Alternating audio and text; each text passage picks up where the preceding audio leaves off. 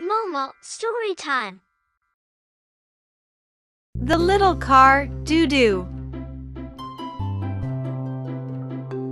Doo Doo is a red car. Today, Dodo is going to find his best friend. Dodo is driving happily on the road. Doo doo, doo doo, doo doo. The police car stops Dodo and pointing to the traffic lights.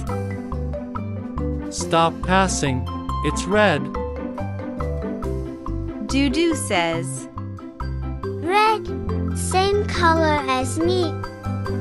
and he stops at the crosswalk.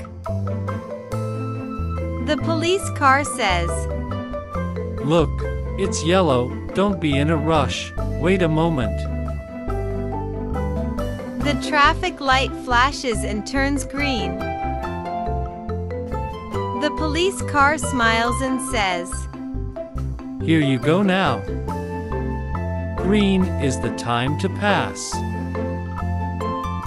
Dodo says, Thank you. and keep going on his way.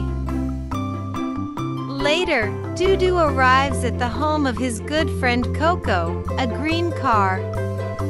Doo shares his knowledge of the traffic lights with Coco right away. From now on, their cars comply with the traffic rules.